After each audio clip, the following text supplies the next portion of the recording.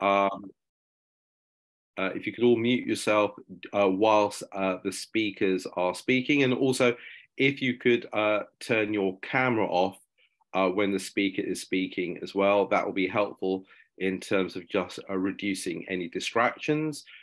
we are recording this event. All slides and a recording of the event will um, eventually go on the Community Energy London website, communityenergy.london.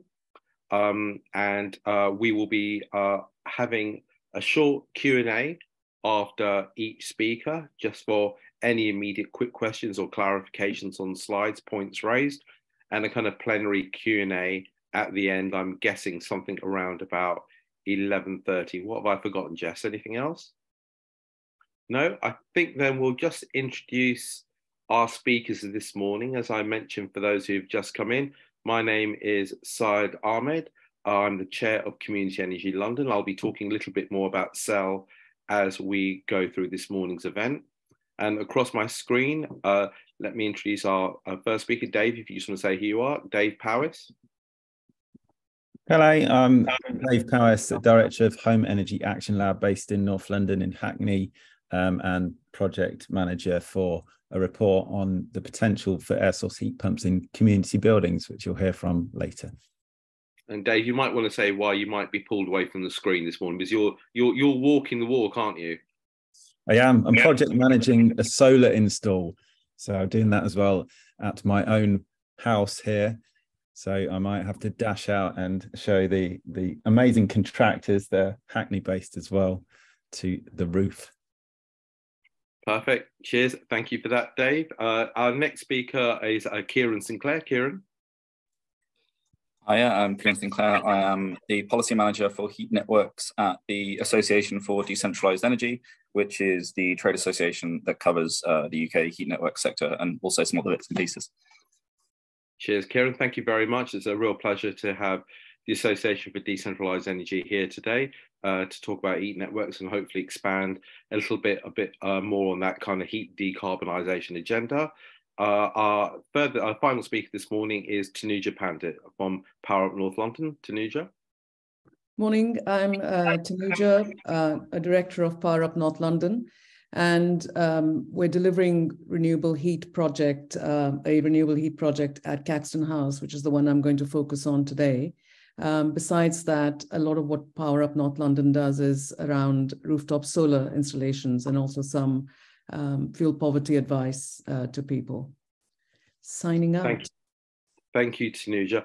Okay, so our, our focus this morning is very much about decarbonisation of buildings. We focus upon one particular technology route through our report, but we're really, excuse me, um, welcoming, um, you know, uh, Duncan's input as well into the world of heat networks and um, some major significant regulation that the government will hopefully be introducing over the next six months to a year, which Kieran will be talking about, which is highly relevant for London in terms of the urban environment and the built the built environment in London.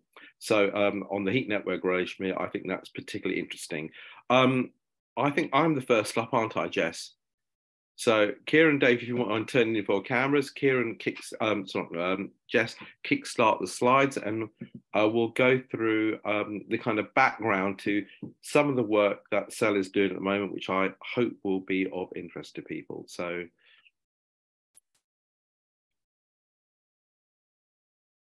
Yep, so that's our event title, uh, Decarbonising Heat Through Community Energy.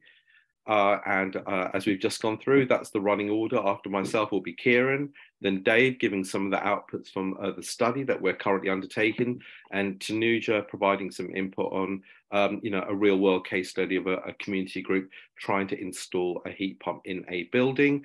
And finally, uh, my colleague Jess, who's the project officer at Community Energy London. Forgive me, Jess, we didn't give you a proper introduction at the beginning of the event, but she'll be ending up talking about our new peer mentoring program, which Community Energy London launched last week, and which we can provide uh, free expert advice to community groups for their projects. And uh, we, we thought we'd end up with the meeting just highlighting that program, uh, which has again just been launched.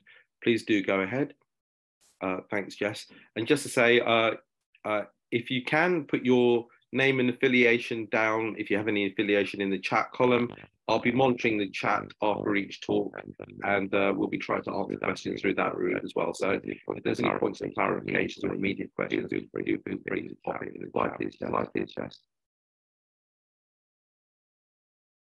Okay, so uh, Community Energy London has been looking at a number of different interventions around trying to decarbonise London uh, for some time now. And as the agenda has increasingly been turning on heat over the last couple of years, uh, we've been, uh, well, I should say, CEL has been guided by its own members in terms of some of the ambitions they have in terms of working in London and decarbonising heat from, from the buildings that they tend to operate in or, you know, with organisations that they work in partnership. And just to say, you know, a cornerstone of London achieving its very ambitious carbon reduction goals, and the mayor and most boroughs have set uh, very ambitious net zero goals for 2030, 2040, or the or at the government's uh, pace at 2050. And the decarbonising heat agenda is really around the shift away from using fossil gas. And of course, this year, um, I don't need to tell you this, but clearly um, the whole um, uh, situation in Ukraine has raised the whole issue of uh, our use of gas in this country. And it's brought back something policymakers used to talk an awful lot about five or six years ago, which has slightly got lost in the mix in the last few years, which is the energy trilemma, which is not only decarbonising our energy supplies, but also providing heat affordably to users and ensuring security of supply.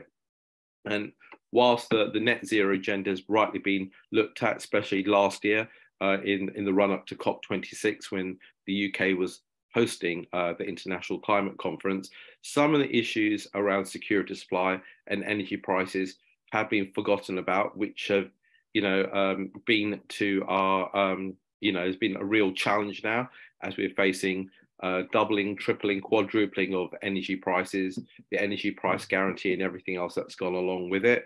And of course, we've seen in only in the news today about whether or not we need a much more flexible system. And National Grid was going to do an offer around flexible supply on the electricity side today, which is decided no longer to do. But that whole issue of affordability, decarbonisation, and security supply in the energy trilemma does need to be, you know, a real priority in policymakers' minds. On the heat agenda, um, I've been working on heat issues for quite a long time, but government policy has always been uh, really weak on heat. And we finally saw a first, I guess, major heat report coming out on heat and building strategy in October 2021. And I'll be turning to that shortly. But looking in the context of London, we have approximately 3.3 million homes, and much of the discussion about reducing heat and decarbonising heat has been in the context of looking at homes. But when we uh, had a conversation amongst the members about non-domestic buildings, we know there's something several hundred thousands. In fact, I think some of the data set that we have suggests there's 700,000 non-domestic buildings when you look at SMEs, offices, and everything else. Uh, and so for that building typology, there really is no clear plan around decarbonising heat. And so we really wanted to turn the focus on that subsector of those 700 odd thousand buildings, which uh, the community energy sector works quite closely with to understand after you've done potentially solar panels on the roof, after you've done energy efficiency retrofit, what could you do in terms of decarbonising the heat supplies? Slide, please, Jess. Um, I mentioned the heat and building strategy. I had a look again today. I mean, I, I think many of you remember there was an, an, awful lot of discussion about the, the strategy last year because it was delayed by the best part of a year. It's a big tome and it's worthwhile having a, a quick look at again, as I did over the last couple of days. Uh, there's an awful lot in there. Uh, what we don't know, what it would be really helpful if the government published an update to it because there's so much in there. It's very hard to see actually where progress is being made across lots of the measures that have been set out in the strategy. But maybe Kieran can shed a little bit of light upon that afterwards. But just to say, the HABS points out there were 30 million, 30 million buildings in the UK, Heat is responsible for about 30% of greenhouse gas emissions. That's down to the fact that the majority of buildings use high carbon fossil fuels for heating hot water and cooking. And of course, something that you know many of us know and have heard about on a regular basis, especially with the crisis that we're facing this year, that the majority of the buildings in the UK have low thermal efficiency, which means much of the heat that is generated through boilers in our homes is actually wasted as it seeps out uh, as, as a consequence of poor insulation. And so the main ways to achieve net zero is to improve the energy efficiency of our buildings and switch to um, switch from higher carbon sources of heating and uh, cooling, which is something we'll, we'll feature a little bit later on in the discussion. So do bear in mind cooling issues as well. It might not feel like we need it today, but uh, many of you will of course realize that the UK hit its highest ever temperature this summertime. So uh, how do we uh, look at thermal efficiency? How do we look at heating and cooling and look to low carbon alternatives? Slide please, Jess. Uh, again, I mentioned that thing would be helpful for an update on the heating building strategy because there was a number of different areas of work that uh, the strategy uh, pledged to take forward. Uh, support improvement for owner occupied houses, uh, the mini minimum energy efficiency standards, both for social and commercial industrial buildings. Uh, this pledge around ramping up the amount of installations of heat pumps from the very low level it is at the moment to 600,000 heat pumps per year by 2028. A whole host of uh, plans, strategies, uh, funding proposals and programs and innovation support for hydrogen. Uh, there's vast amounts going on on hydrogen. How much of that will actually uh, support decarbonisation in London's buildings? Um, that's really um, an open question at the moment. Uh, I, it reminds me, and I'm sure somebody might pop it in the uh, in the chat column, uh, that LETI, the London Energy Transformation Initiative, they published, I believe, last year a report about heat and decarbonizations of buildings through hydrogen, and uh, they kind of said there's a lot more effective solutions that are available at the moment in time. Uh, the other issue, which has been uh, an area of focus in London for quite some time, is about how do we grow our heat networks, and uh, Kieran will be talking about some of the major new regulations that are being proposed by government at the moment. But equally, there's uh, thank you, Dave Powis, for the LETI. That's the retrofit one. There's a hydrogen report as well. Well Dave. Uh, but there's also uh, a number of funding schemes at the moment from the public sector decarbonisation scheme, uh, Green Home Green Home grant, Local Authority Delivery, which I'm sure many local authority officers will know. There's SHDF, home upgrade grants, and so on and so forth. For uh, heat pumps, there's only really the boiler upgrade scheme, and that's only for domestic heat pumps, which uh, Dave will be talking about. And only today we've seen in the papers that there's going to be or uh, a new scheme, Eco Plus, uh, the consultation document for which was issued yesterday. If you feel like responding to it, a one month uh, response time, something you can do just before Christmas. Slide, please.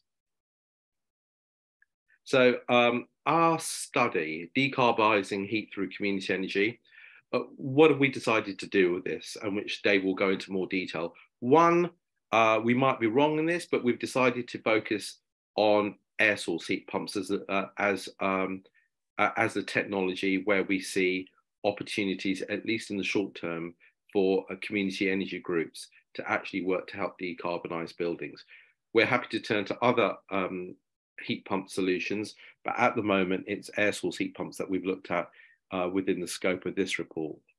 Uh, why are we doing this? Well, part of the reason why is that groups had already started asking questions at our regular Community Energy London meeting saying, how can community energy grants from both the local authorities and from the GLA support the retrofit of heat pumps in buildings?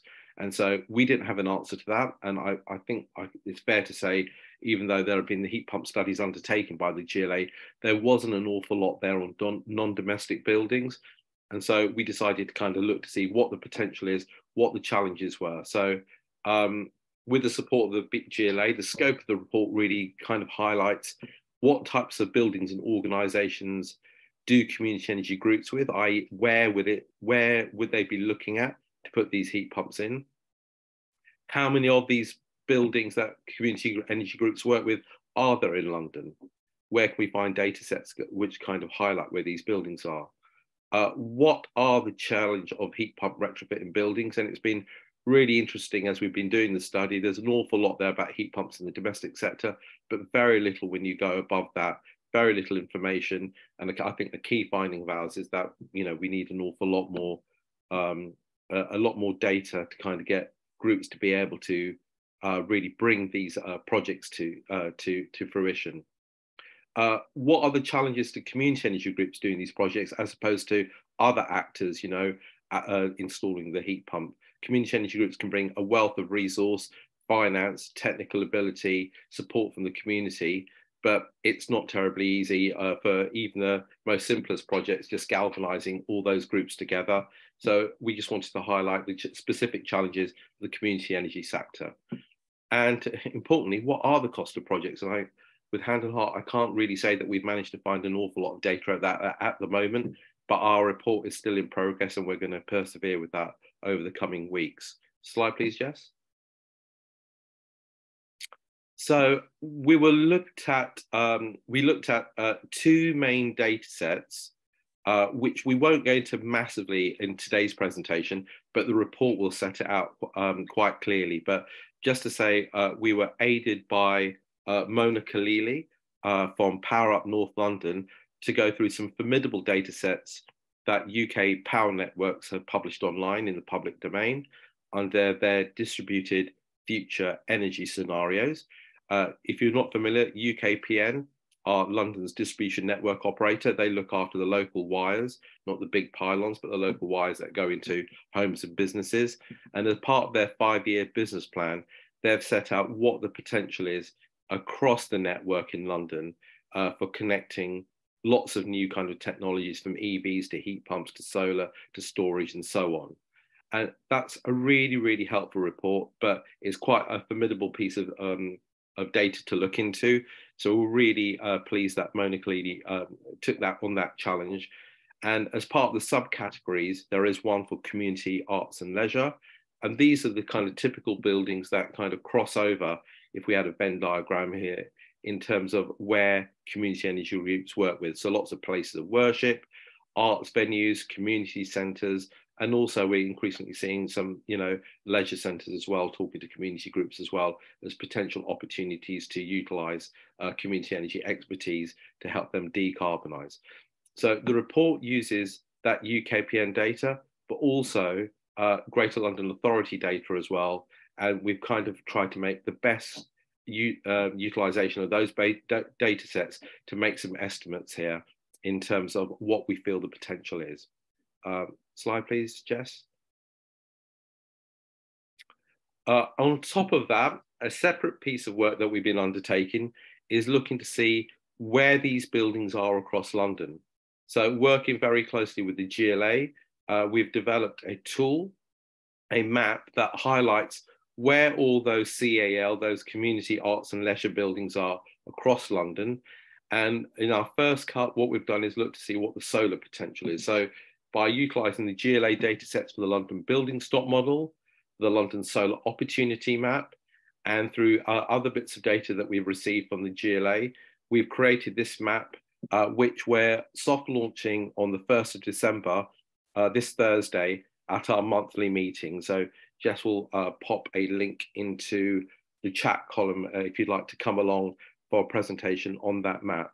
The tool will give you an indication of, uh, well, it'll give you an idea of where the building is. In fact, not give you an idea, it'll tell you where the building is, but it'll also give you an idea uh, as that um, uh, as that table shows on the left-hand side of the slide, what the um, potential installed capacity for solar would be, what the annual output would be, uh, what the heat demand of that building is by looking at the EPCs and DECs, uh, what the peak heat demand is, and also what the energy rating for that um, particular building is. And you will be able to click on the actual building and that will take you straight to the EPC for it.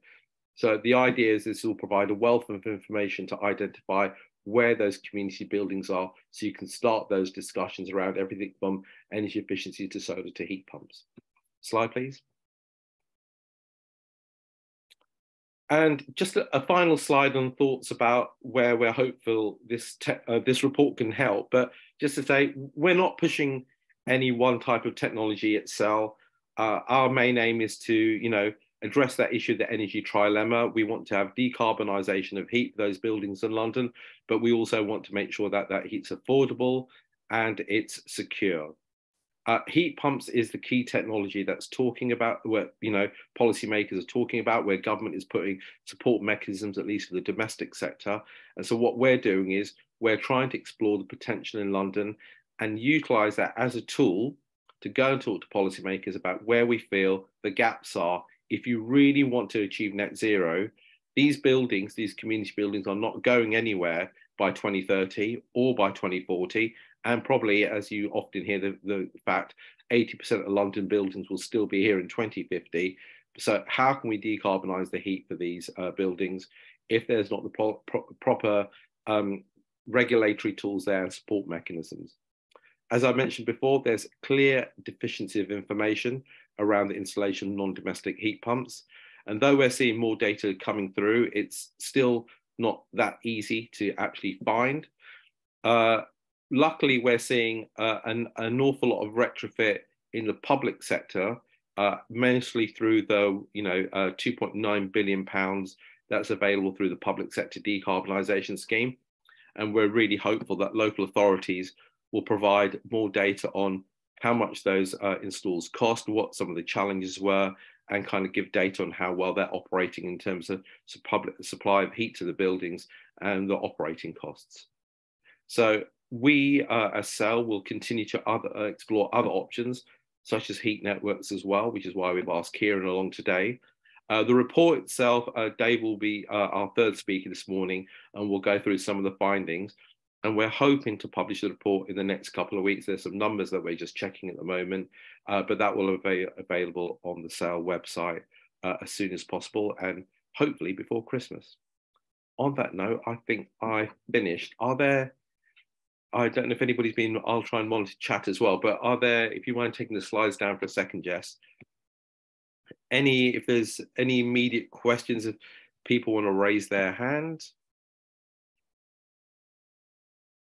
Can't see anything at the moment. Jess, can you see any hands being raised anywhere?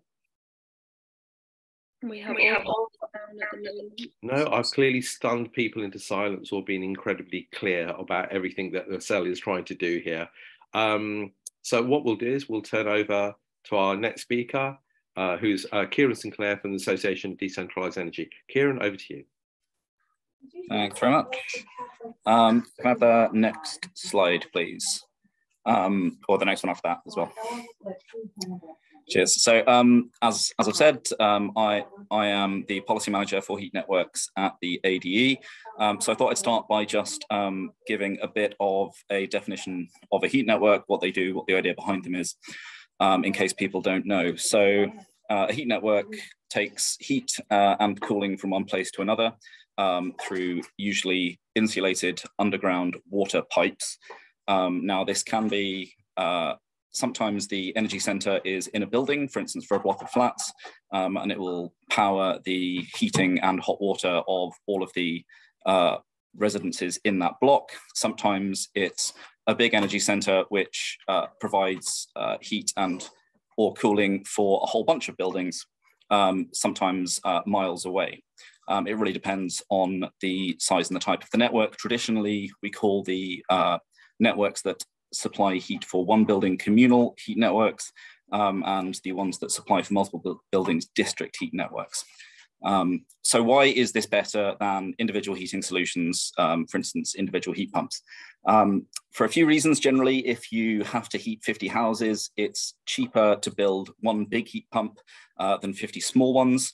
Um, also, the bigger heat pump will be more efficient. Um, in the industry, they talk about something called the COP, the coefficient of performance, um, which is basically how much um, heat you can move with uh, how much electricity, and larger heat pumps tend to do it better than smaller ones. Uh, and also, heat pumps can have various sources. Most commonly, we talk about individual air source heat pumps, but you can also get heat from groundwater, you can get heat from rivers, um, you can get heat from various things. And uh, larger uh, heat networks tend to do that a bit better. Um, and finally, um, apart from the ambient heat, heat networks can tap into uh, waste heat um, and carry that over distance as well. So basically the heat that's being uh, created by uh, any of a number of processes from um, energy from waste facilities where they burn refuse to uh, data centers which do cloud computing processing that just otherwise would expel the heat into the environment. That heat can be taken and used to heat homes and businesses. Uh, next slide, please. So uh, what's going on at the moment? So the government has committed to trying to uh, expand the UK heat networks market. At the moment, um, it's about 2% of heat in the UK is supplied by heat networks. The aspiration the government has um, is to get, to 18% uh, by 2050. Um, and the key things that they want to use to do this are the uh, pieces of legislation in the Energy Security Bill, which was originally introduced by Boris Johnson's government, that was two governments ago now, um, and has currently been put on a pause because of all of the political turmoil and particularly uh, the effects of the war in Ukraine. Um, but once the bill comes into place, it will contain two main uh, things for heat networks. The first of which is called the Heat Networks Market Framework. Um, and basically what that means is regulation for heat networks in the same way that the electricity and gas centers uh, sectors are regulated. Um, so in particular, that uh, includes uh, making Ofgem the regulator, just like for electricity and gas, and the Independent Energy Ombudsman, uh, the complaints uh, facility, just like electric electricity and gas. Um, it also improves technical standards and provides consumer protection standards and price transparency uh, for heat networks. Um, traditionally, you might think that the sectors don't uh, necessarily want to be regulated, but actually um, for the heat network sector, we're very, very keen on being regulated um, because this is really, really important to provide confidence uh, to the market at a time when we're trying to really uh, expand the heat network sector in the UK and use it to provide heat to more people. Um, and then Another core part of uh, the heat network sector, which Syed asked me to mention, is the Green Heat Network Fund, which is basically how we're currently, uh, how the government is currently supporting uh, heat network expansion. Um, and it's basically a three-year, um, around 300 million capital grant fund. So uh, the government will pay um, somewhere around half of uh, the uh, capital outlay for building a heat network. And this can also be used uh, not only to build new projects, but to retrofit and expand uh, existing projects with low carbon heat sources. Um, if I could have the next slide, please. And so the other, the other part of the uh, energy security bill, which is important for heat networks, is heat network zoning. Um, and this will probably be where um, people begin to experience um, more uh, heat network stuff on the ground um, and in communities is when zoning uh, gets applied. So what is zoning? Uh, it's a policy in the Energy Security Bill designed to speed up the rollout of heat networks. And what it does is it looks at the a certain local area and it looks at the heat needs and the heat sources. Um, and then it will give a zoning coordinator, which will usually be the local authority, the powers to mandate connection to certain types of buildings within those uh, heat network zones. So basically it tries to, where there's heat going wasted and where there are buildings that need low carbon heat, it tries to match those up um, and form an efficient uh, heat network within them.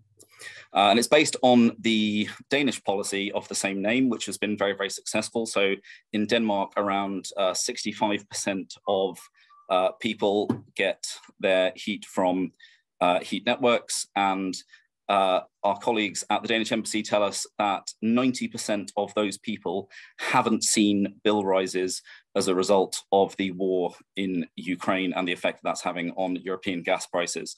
Um, they're being kept down by their uh, effective uh, heat network zoning policy.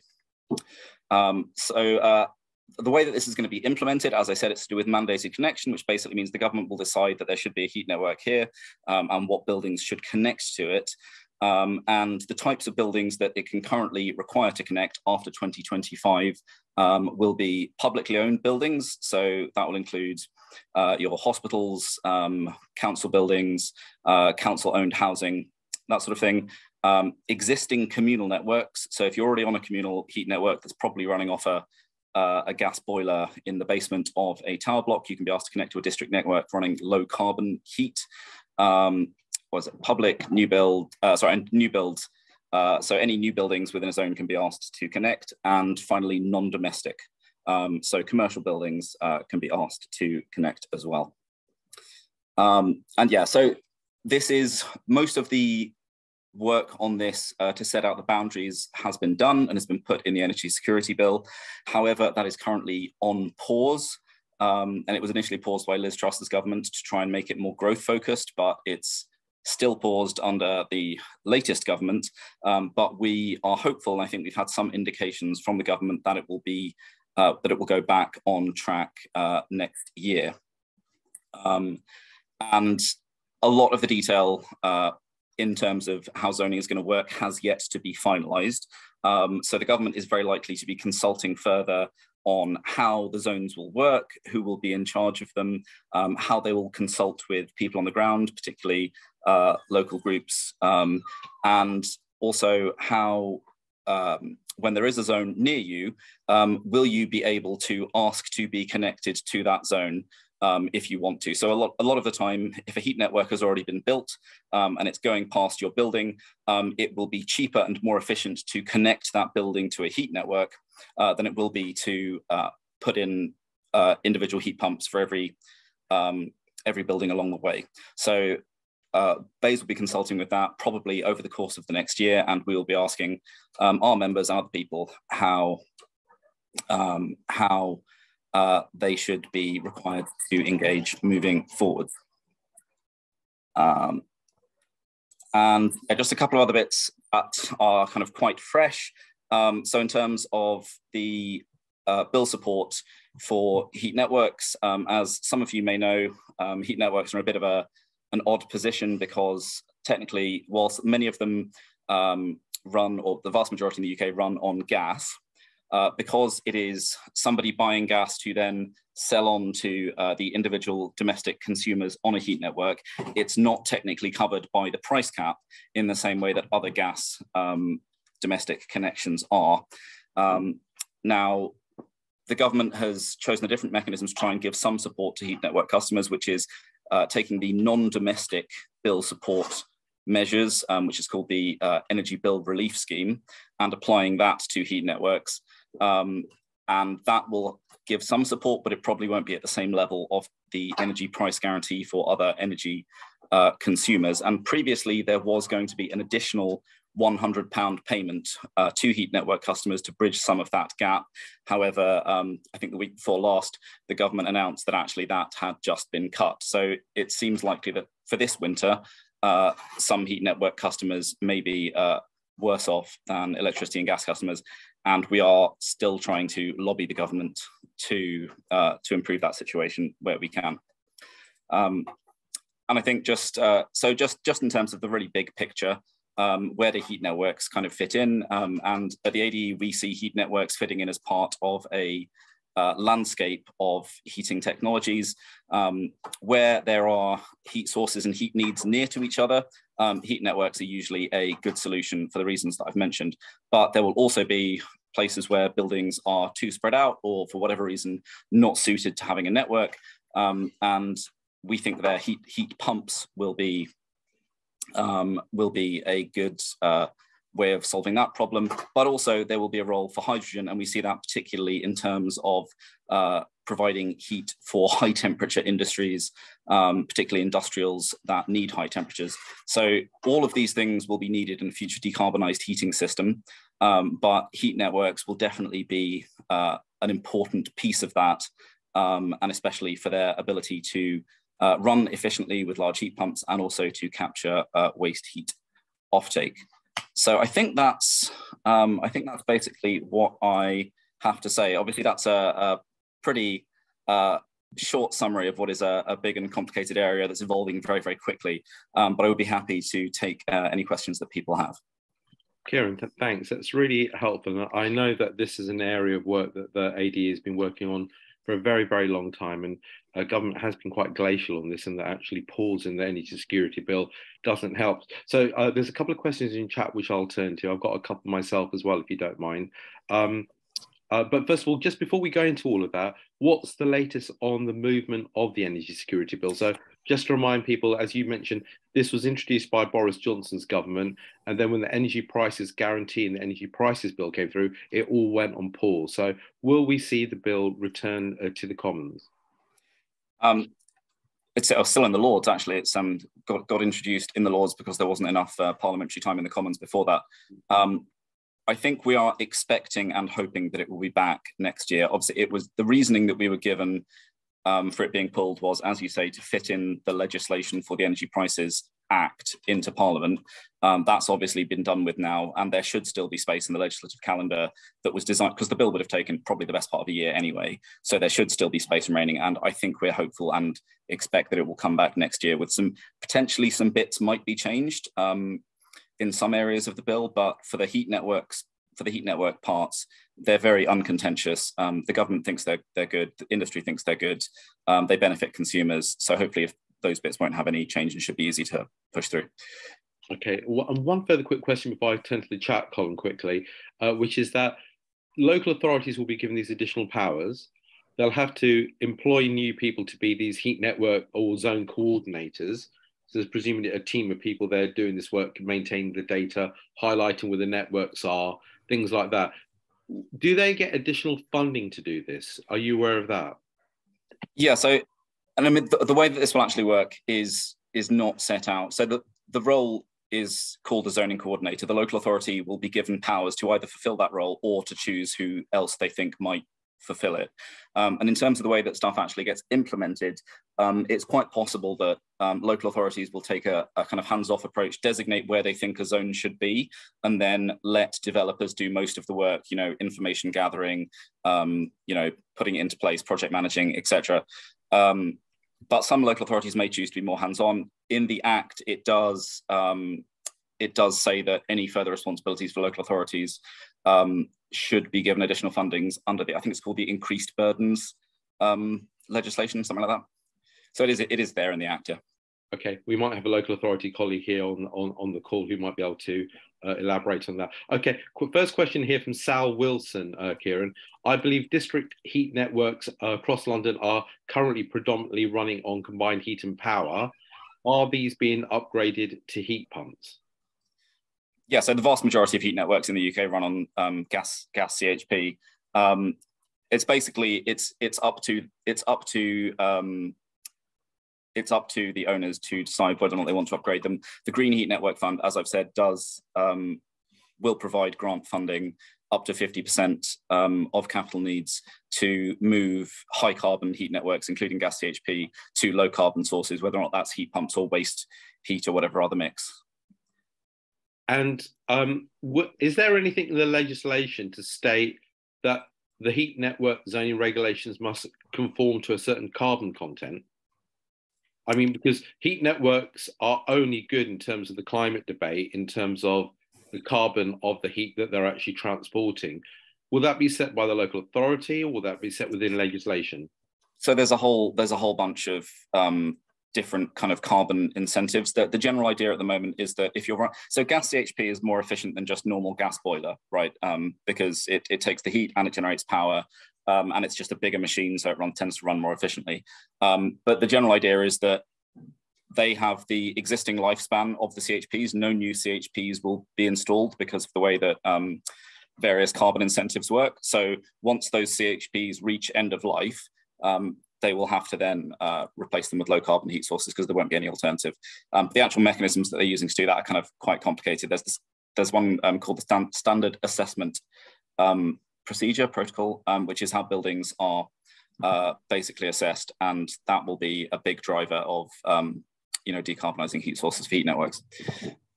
Okay, um, Paul Hallis, you've asked an, uh, a question about biomethane. Paul, do you mind just uh, turning your camera on and just giving us an idea what's going on in Manchester? Because that sounds quite interesting. Paul?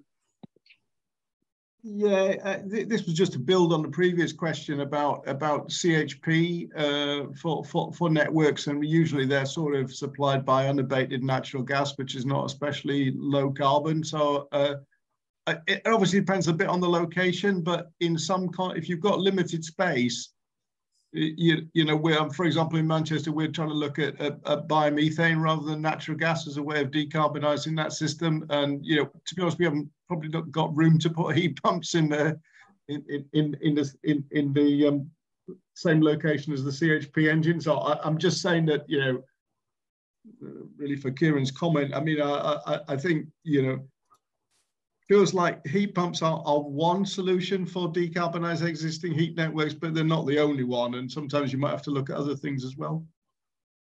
Yeah, I mean, absolutely. And, you know, we can, uh, as I mentioned, look to Denmark where they have um, a whole combination of um, heat pumps, waste heat, gas CHP, biomethane, biogas.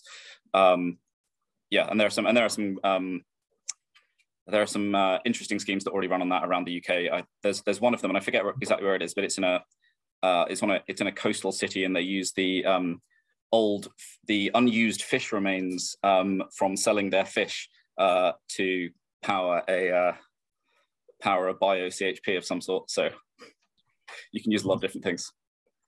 Interesting, thanks. And, and and just in passing, I mean, I think Denmark's a great role model to, to look at. And as, as far as I remember, in you know, terms of uh, banks for the buck, it's also the leading biomethane market in Europe, as well as the leading sort of heat pump um, company, uh, country. Sorry. Uh, Kieran, forgive me. You've got a couple of more questions, if you don't mind. Uh, you obviously your uh, talk did uh, stimulate a few more questions than mine did. Um, I, I, know I will take for future reference.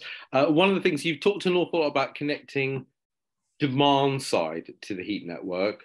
Uh, Rokia has asked about actually the supply side to heat network. So, for instance, if there's an opportunity for connecting a um, combined heat and power, but connected to anaerobic digestion, so a low or near zero carbon heat source. So, are there provisions in the bills for actually connecting new heat sources into the networks as well as demand users? Yes, I mean the mandated connection powers in zoning will include the powers to um, connect uh, heat sources as well. That's really, really key um, to zoning, is especially where um, heat is being wasted at the moment and it's being pumped into air, that that can be captured. Um, again, the details of exactly how that's going to be implemented and making sure there's a fair um, cost um, paid to the heat sources is still being worked out. But yeah, that's absolutely core to the zoning policy.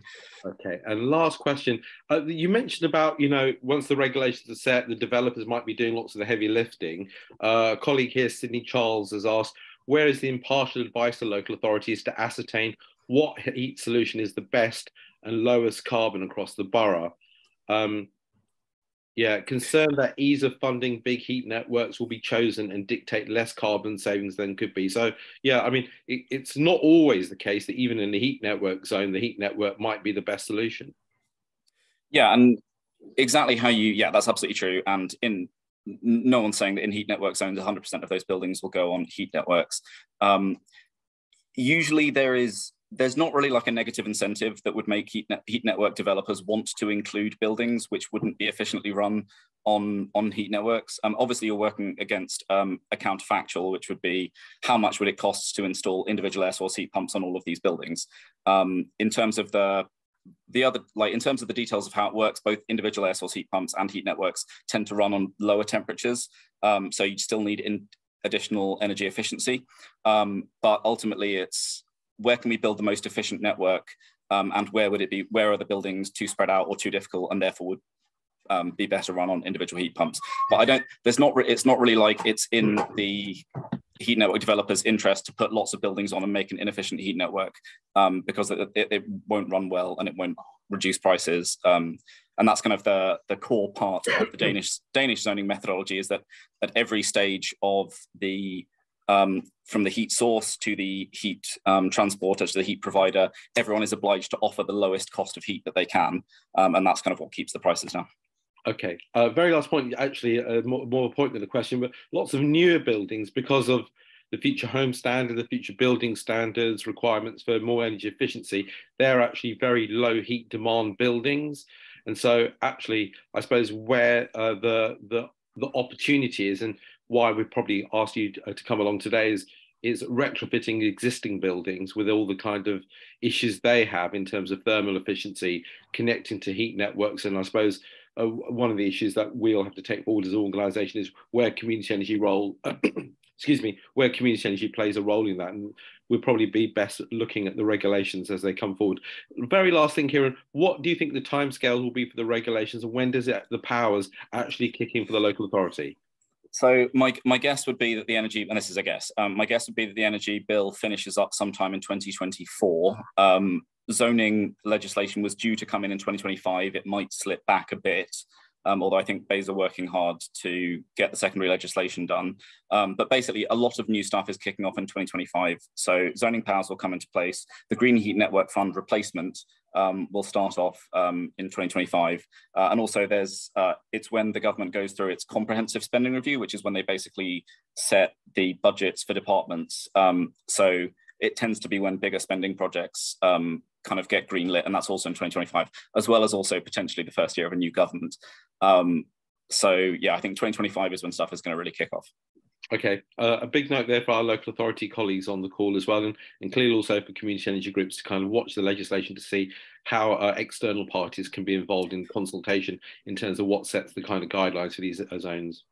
And I think if I could just say one final thing, um, if there are any uh, local authorities or anybody else who would like more information on this, um, or, or anything else, please just do get in touch um, with us at the ADE because um, there's going to be a lot of pressure on we local authorities when zoning kicks off, and we understand that, and we'd like to support it as best we can.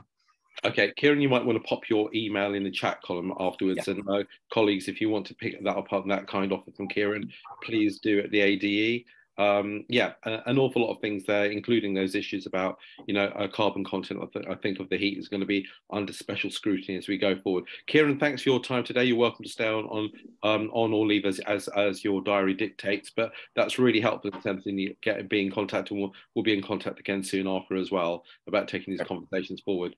Uh, we'll move swiftly on to our next speaker, Dave Powis. Thanks, Kieran. Dave, over to you. Thanks, Syed. Thanks, Kieran. Really excited about a low carbon heat network. It makes so much sense, doesn't it? Rather than everyone doing their own little bits in their own silos.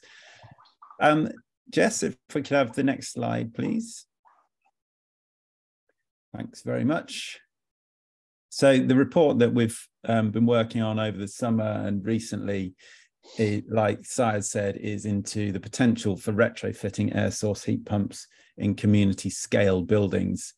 Um, we've put this report together from studying various reports and literature on the topic, um, and also conducting some surveys of case studies that are either in process for community groups um, retrofitting a pump or have completed the retrofit of a pump. And as we said, the, the scope of the study is more on air source heat pumps, but some of the challenges and opportunities that we'll talk about are very relevant to ground source heat pumps or, or um, as Kieran said, any source of heat, waste heat, um, a body of water, you name it. Um, and particularly something that I'm um, very aware of in terms of retrofit is the fabric first approach to make sure that the, the thermal efficiency of the building that you're, you're tackling is appropriate for what you're doing. So very much um, underlining a lot of the research that that came through.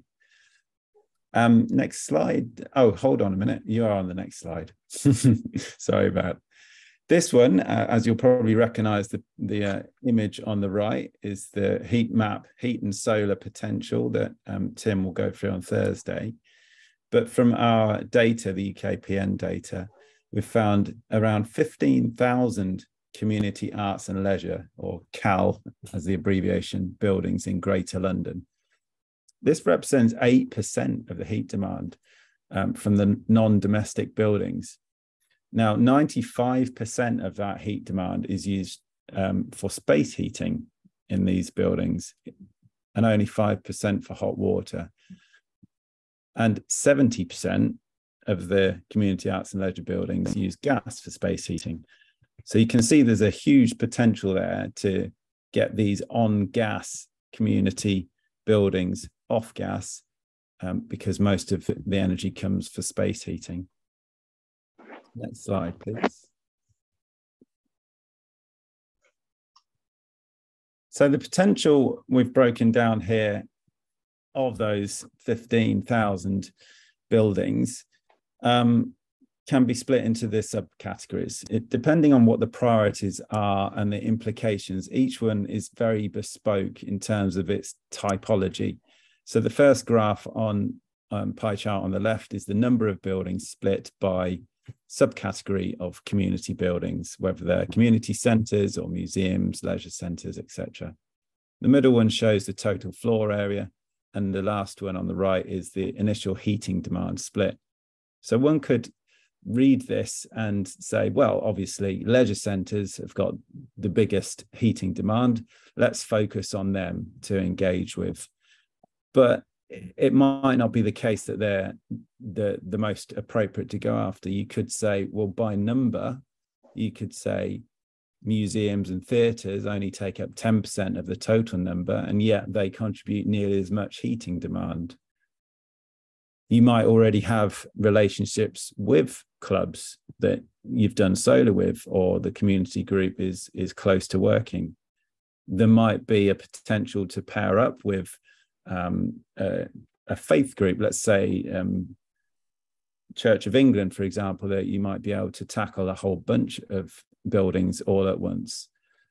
So there's lots of different reasons why you might identify a potential based on use type, typology, energy, size.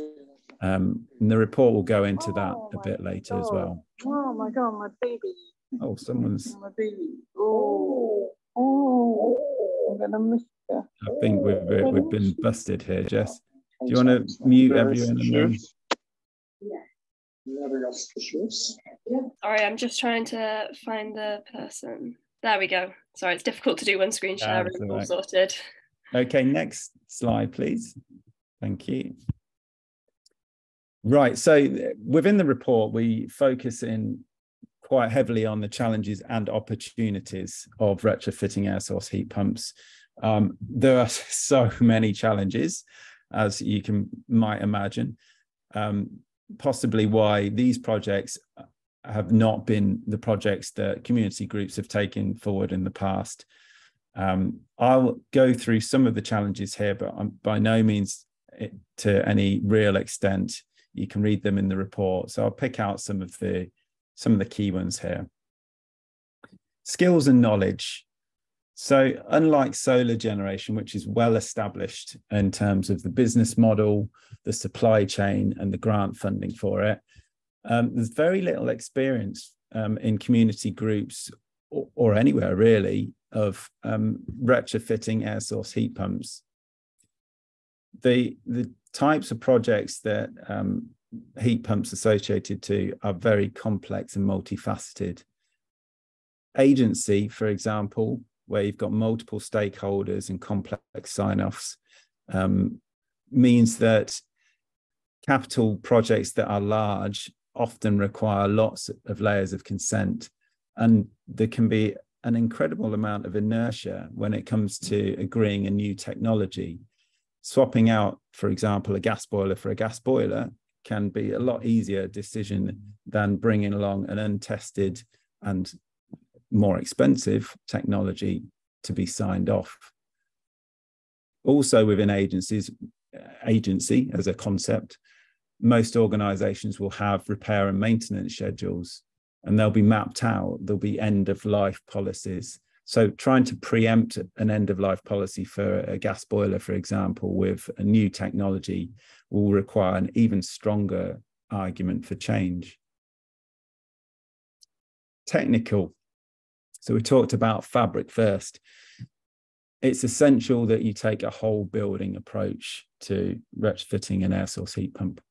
Buildings that are well insulated, airtight, appropriate ventilation are most suited. And, and we've heard this many times. So the counter is also true those that aren't will be more costly to run. They'll save less carbon and they'll potentially suffer from unintended consequences um, such as moisture.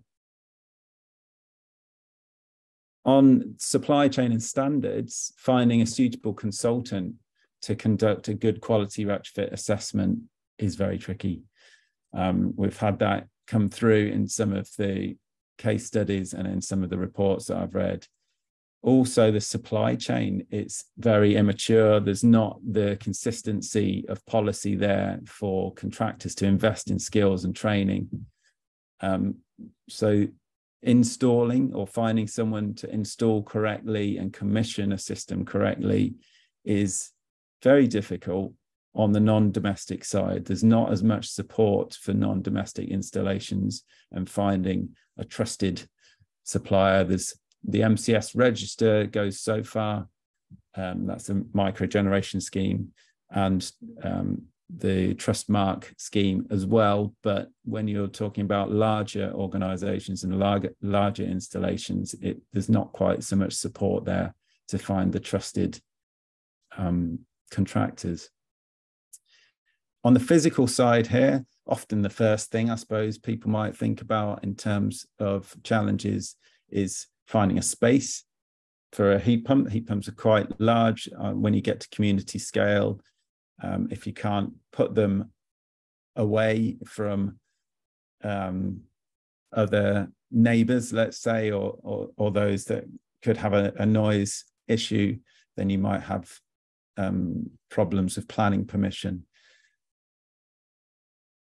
Financial. So the financial cost of an air source heat pump, as I said, very difficult to find actual costs for this size of heat pump. There's lots of information out there on domestic sized air source heat pumps. Generally, I think it's quite fair to say they're far more expensive than replacing uh, the same size of gas boiler, not just because of the cost of the, the technology itself, but often because of any ancillary work that's needed as well. When I say that, it might be um, upgrading the heat emitters, the radiators, or the the pipe work, the fabric of the building, and also installing it. The cost of installing, we've found ranges. Uh, there's a vast range in terms of what's charged, and that's true for domestic as well as as non-domestic. So the the upfront cost, the capital expense of an air source heat pump, yes, it is more. Now, um, the government does expect cost parity for domestic air source heat pumps. It hopes to achieve that. But I think the be- bespoke nature of these community buildings and, and, other works doesn't necessarily lend themselves to the same economies of scale. It's not going to be a like for like high demand um, uh, for the same heat pump to bring those costs down and, and, of course, I can't move out of this section without talking about the uh, the lack of funding. The there's no boiler upgrade scheme for systems above 45 kilowatts, which all of the case studies we've looked at for this, and I believe most of the community buildings will be bigger than that size of system. There's no rural or urban community energy fund anymore. There's no non-domestic renewable heat incentive anymore. So it's great to hear the heat network, uh, the green heat network grants there. But for individual systems, there's just no no, no directed support or funding. Um, and of course, trying to make that financial case where carbon savings are significant, if the main priority is financial payback on the capital expense, it's going to be a much longer time to pay back than, for example, solar at the moment. So getting the case through for air source heat pump and fabric upgrade of your building is going to be much more difficult. Next slide, please.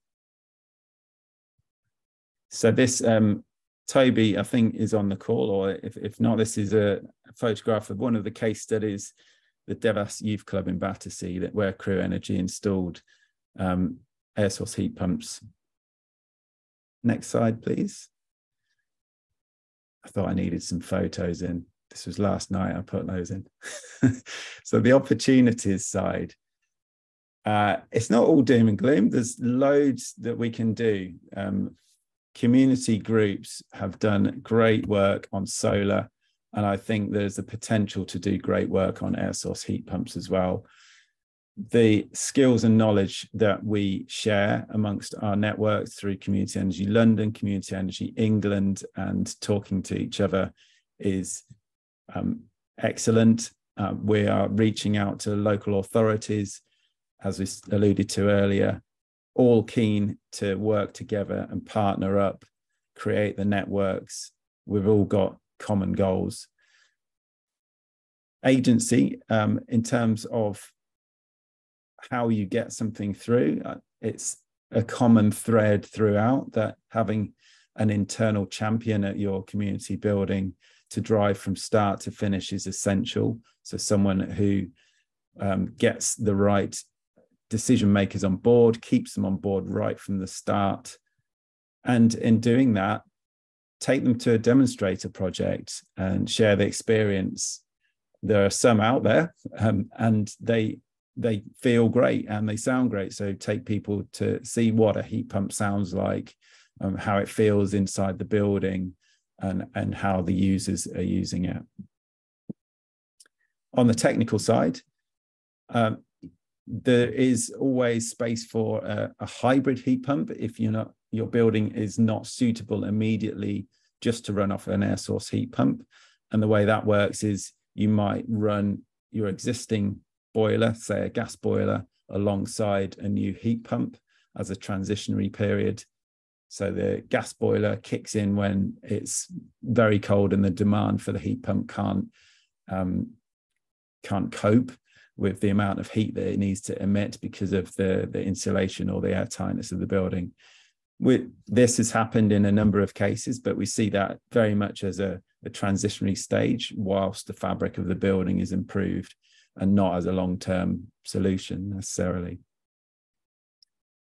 Um, financial, I think a really key point that can be made is the financial case can be bolstered by phasing it with um, planned maintenance or repair work, uh, or combining it with another technology such as low uh, low energy light bulbs or solar into the business model. I think I saw that in the chat earlier.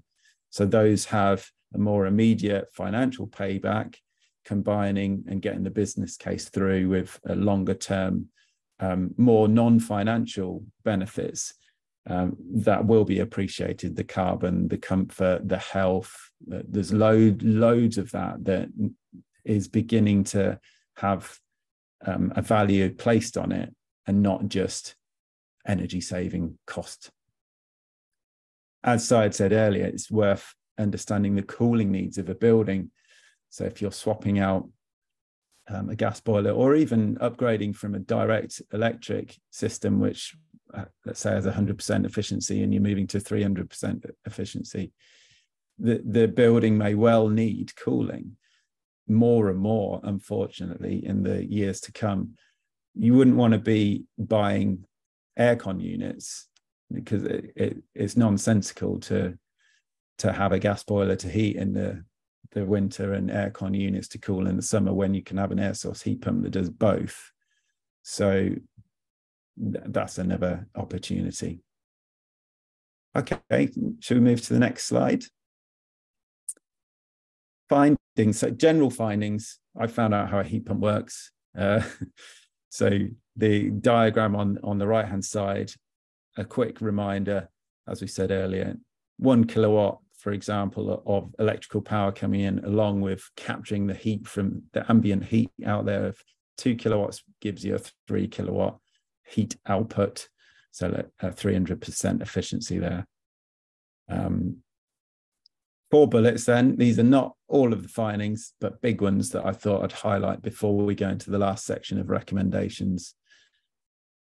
Very little data experience out there on air source heat pumps. There's no support from the government for community scale heat pumps above 45 kilowatt hours community groups have a crucial part to play in facilitating these projects, um, both in terms of translating technical um, documents and consultant reports and supporting community buildings and fundraising. So this this intermediary role is probably plays down the actual scope of what we can do. And it's really complicated, uh, but we've got to act, we've got to get off gas, as we said, both for security of supply, for cost, stability, and net zero. So next slide, please. Think I can hear the ins- installers upstairs doing the solar. So luckily, I've got someone managing that for me. I've subcontracted. Um, the three recommendation groups, these are three key actors that we've um, zoned in on that can help support um, and help um, lobby for change and, and um, support these. So next slide, please. First off is the community groups. So a set of recommendations directed at community groups. Upskill, education. Um, we've been doing it. Um, we need to carry on doing it uh, in the technology itself and also the associated calculations of heat within a, a, a building. We talked about standard assessment protocol SAP earlier. The very basic version of SAP is called RDSAP, Reduced Data SAP, and that's used in EPC certificates. We need to get more advanced than that. You can't run a project based on um, an EPC calculation. You need the consultants in.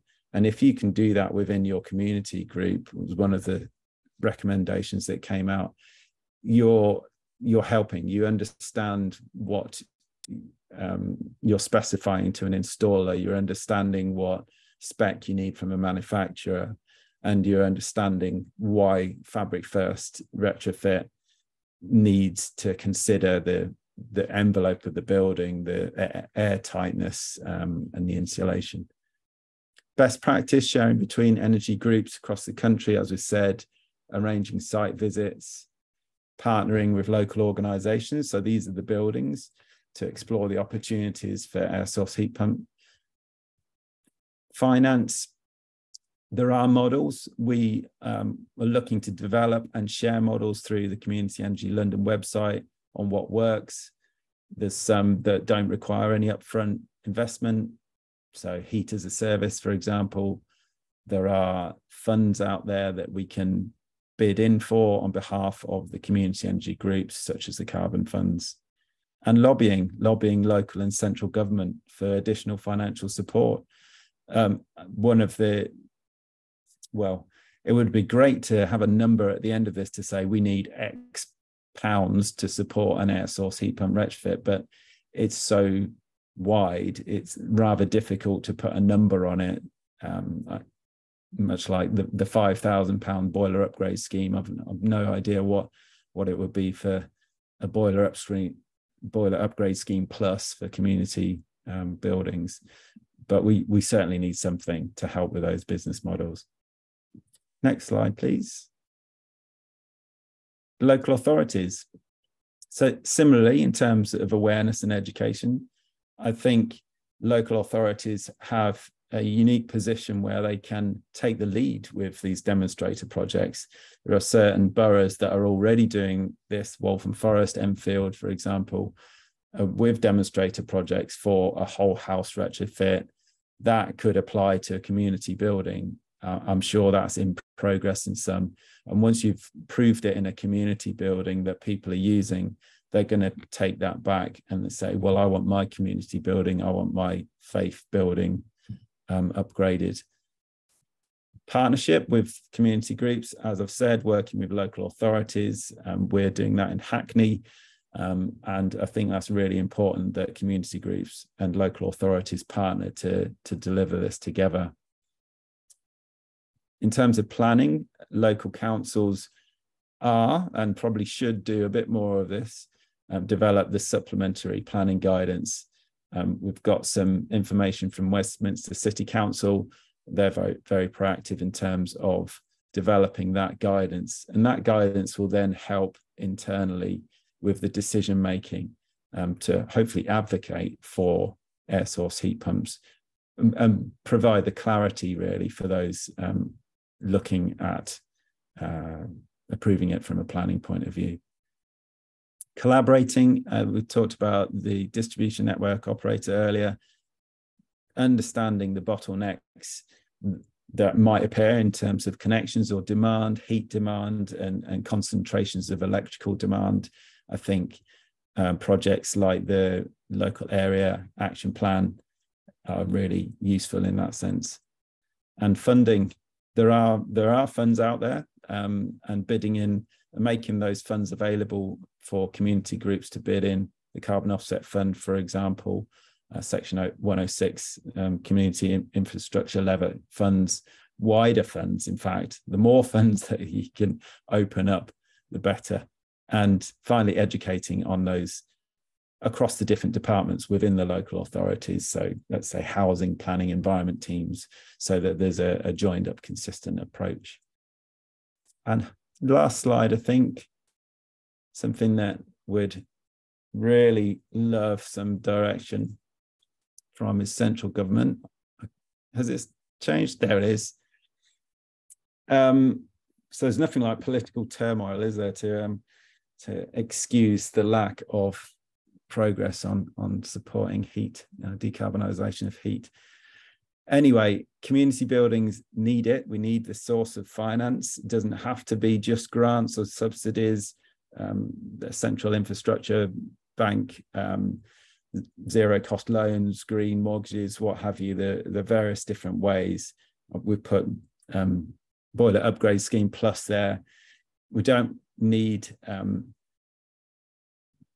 I, I think we need a lot more than that. Apologies, there's some drilling. and I think the point that I'm trying to make in the last sentence there was it is fabric improvements as well. It's a whole building approach.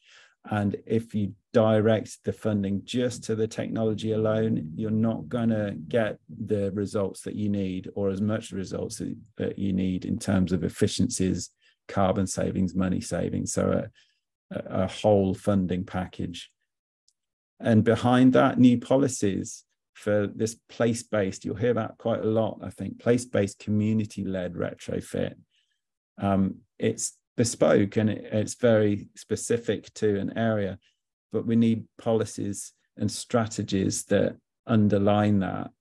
It's it's all good having a target for a number of heat pumps installed but if you haven't put in place the strategy and the policies behind it to achieve that i i don't think it'll happen last couple of bits admin got to make it easy to apply for these funds both the eligibility criteria and the process um, and keeping it open. Certain funds that local authorities bid for aren't open that long, and if they're not delivered, they have to give the money back. Um, all, all down to domestic applications, the Green Homes Grant, for example, um, or the Sustainable Warmth grants at the moment. It's got to be easy if if um, central government want to make it work. Some the confidence factor is the need, there's been calls for a national retrofit strategy for years, a sufficiently funded strategy. So someone put in the chat the um, Eco Plus and said maybe too little, too late. Yeah, I, I would definitely argue that a billion compared to how much is being spent on supporting energy bills that has a zero return on investment. It's a drop in the ocean. It, it's something, but it's it's not enough. And there means there needs to be a long term strategy to give that confidence to upskill to the industry. And finally, quickly on standards, I said about EPCs need a bit of an overhaul to move away from simply cost based, which could favor more gas boilers and not air source heat pumps. And the min- minimum energy efficiency standards need to be enforced properly. That came out in the Each Home Counts um, review that happened a couple of years ago um, and also this quality mark. A quality mark would be similar to a TrustMark and MCS. Sorry, I raced at the end. I got a feeling I'm probably pushing on time, but I haven't got any counters going. So, no, Dave, you're absolutely fine. Uh, that's no problem at all. Tanuja, are you okay for a few minutes while I go through a couple of questions before we come to you? Is that all right, Tanuja? Absolutely. Fine. Okay. There are a number of things in there. First of all, just that um, one of the things that's been always in the back of my mind is the comment that Fiona Hughes makes uh, in the uh, in the chat, which is, of course, uh, air source heat pumps are in fact actually very common in some non-domestic buildings. And when you go to a hotel or a gym and lots of other places, you always see them on the roof. They're there, very common. But Fiona goes on to say, so little data is available, and that's been our um, experience in trying to put this uh, this report together in terms of uh, the availability of data, but maybe we're just making a mistake and not just ringing up suppliers and just asking what their prices are actually, Dave. So maybe we, we need to do a little bit more of that in the kind of in the tail end of the report. But you're absolutely right. There seems to be uh, all the focus seems to be in terms of domestic scale air source heat pumps and very little data points around uh, anything else.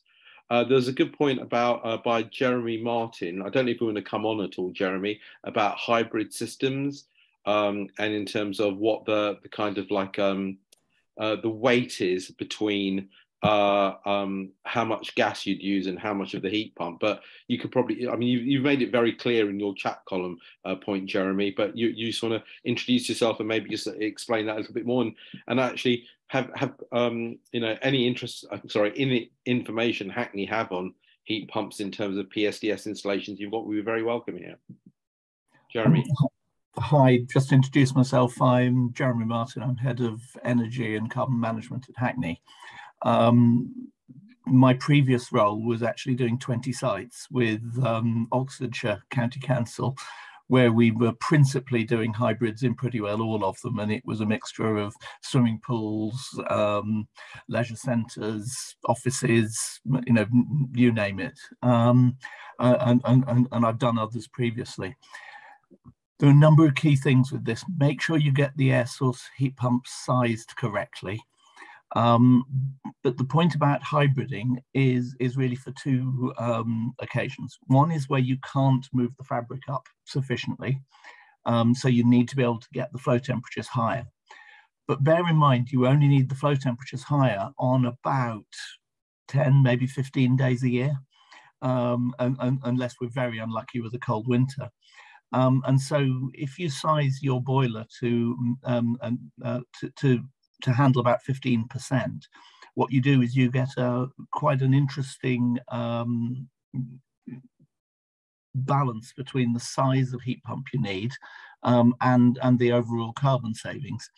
Now, because we do all the carbon savings on averages, it makes it look poor, but in reality, the last 15% um, of, of, of, the performance from the heat pump comes at such a cost um, in terms of electricity used that the carbon saving, unless using something like a PPA to knock all of your carbon out, um, that, that, that final bit of carbon saving is, is almost illusory. Mm. And can you give an indication, at least ballparks, on those 20 air source heat pumps you said? Can you give an idea of what the sizes and rough installation costs were, Jeremy? Oh. Just ballpark? Um, it really varies massively. Um, some of them, the big, um, the big ones were getting on for four, five hundred thousand pounds each in for, for, for a leisure centre. Um, now in, in Hackney, we've just put in some for uh, the PSDS grant, and three of those are source, uh, sorry, sorry, sorry, ground source heat pumps, where we're looking at between two and three million each. At the other end of the scale, we did one office that was relatively new. It, it had boilers in, but it um, it was a three-story office, housed about 50, 60 people. Um, and I think the air source heat pump was about 80,000. Okay. Um, and, and that was done just with pure air source because it was a relatively modern building. So, so we didn't actually have to do anything there. Okay. And any other tips in terms of community groups and um, in terms of taking forward projects? So, I mean, one of the things that we've said is that developing some kind of checklist to kind of work through issues. And, you know, as far as we can see, it's, it's been really challenging to find really good advice about air source heat pumps of of you know above domestic and below kind of large scale commercial? Well for me the number one problem with trying to justify um, changes to to for, for, away from boilers to heat pumps is that there's fundamentally no cost saving. Um, you're doing it for carbon reduction. You're not doing it for cost efficiency. Now if you've got to change your boiler what you're um, so if you've got to change your boiler anyway then at least you're only dealing with the marginal cost. But again the, there is no material um, energy saving not at the moment. There probably will be as gas gets more expensive relative to electricity over time. Um, and, and, the current crisis is, showing just what can happen. Um, because at the current gas and electricity prices, there probably is a payback. Um, I, I, would expect we're going to go back to normal in a couple of years' time where there isn't a payback. So that's the first obstacle. Um, so if if you've got to get a payback in order to be able to justify it, then you are really up against it, and and and and, and you've got to look for grants. Quite where community energy goes with this, I think, is going to depend on the skills that are available in each individual community energy organisation, um, because this isn't something you should take on lightly um, it's really easy to wrongly size a heat pump and end up having to rip it out and, and change it again later or put a second one in running alongside. And again, over the last 10, 15 years, I've seen so many um, systems. I've seen a lot of buildings where um, councils in particular have put in heat pumps and then ripped them out and put boilers in. Uh, because they just didn't work, and most of that has been because they they undersized them. Um, now, we're very keen to work with the, the, community energy sector. In the long term, I really see the community energy sector having a massive role to play in promoting this sort of stuff, particularly with households, because um, I think you're better at talking to people in that environment than uh, we are in councils and that a lot of the contractors are. Um, I think the jury's out on on whether that goes for the larger buildings as well, but probably because um, we've got more experience in, in in the larger buildings than we have in the domestic, if that makes sense. No, that's really, some really good points there, Martin. That's really excellent. We may we may come back to you in the future as well in terms of that kind of level of experience you've had. Can I bring in, uh, Tanuja, forgive me, can I bring in one other um, uh, contributor here, Martin Crane? Martin, can you just uh, uh, provide a bit uh, a bit more insight into the point you, have made, if you don't mind, uh, in, oh, in that column? Hello. Yes. Uh, sorry, I, I pressed enter before before I, before I meant to. Yeah. So I I do heat networks generally, my dad, but I've generally people size kit on benchmarks, which is just I'm a I'm a consultant, so I'm just as fallible as everybody else. You lick your finger, wave it around a bit, and double it, and you always end up with much bigger plants.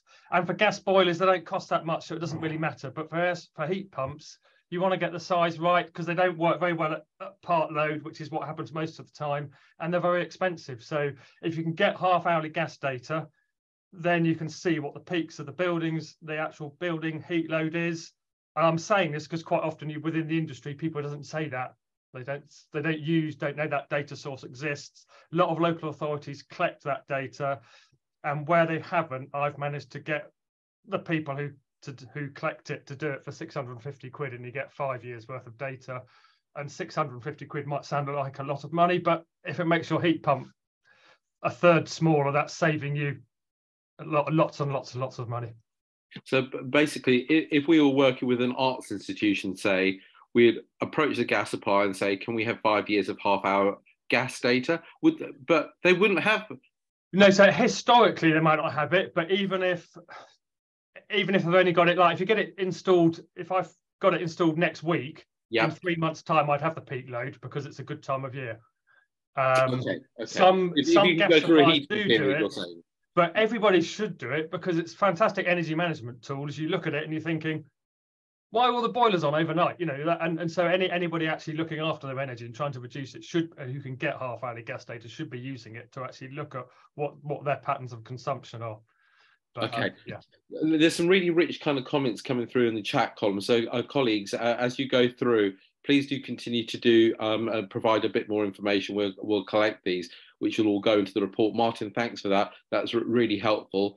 Um, I'm just mindful of the time. I'm going to turn to our final speaker, just with those words of caution from Jeremy and Martin, echoing the background about being very cautious about data and sizing the air source heat pump correctly, uh, as uh, Tanuja Pandit and Power Up North London are looking at a project in North London in Archway. Tanuja, our final speaker of the morning, over to you. Martin, you mind hitting your camera as well, if you don't mind. Cheers.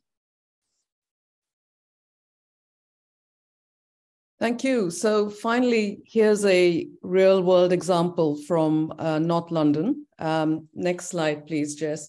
So Caxton House is a community center near Archway, uh, multi-purpose building, um, has a very good relationship with uh, local residents. Uh, they're they're in quite difficult circumstances. A lot of them. There's lots of health inequalities and social isolation and so on. So um, this is a building with whom, or a center with whom Power Up North London has had a long-standing relationship going back to uh, 2018 when we installed LED lighting uh, in the center as our, our first engagement with them. Um, next slide, please.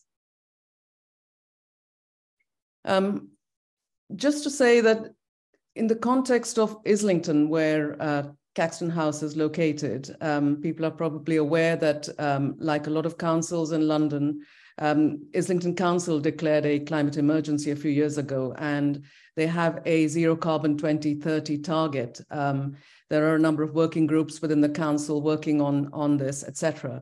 So we felt uh, this was an important moment for Power Up North London as a community energy group to work with a, a local uh, center to help to decarbonize the center. And given our relationship with Caxton House, um, this seemed like a good place to start. Um, we decided to take a uh, whole building approach to go with the fabric first approach that people have mentioned. Um, a little bit of information about the building in that context. It's a modernish building built in 1976. Uh, 1500 square meters, so not enormous. Uh, they have a number of rooms, uh, many of which are used as office spaces. And they have some big community spaces, including that massive sports hall on, this, on the right there, uh, which is worth bearing in mind as we go forward, because there are some aspects of that that we had to um, take into account when deciding how to size up our air source heat pump. Um, next slide, please. So in they have been on a, on a journey, as they say, to decarbonization at, at Caxton House. They got their solar panels in early uh, through uh, Islington Council's uh, intervention. That was before our time. Um, and those are, are doing a good, good service for them. Um, they continue to do a good service.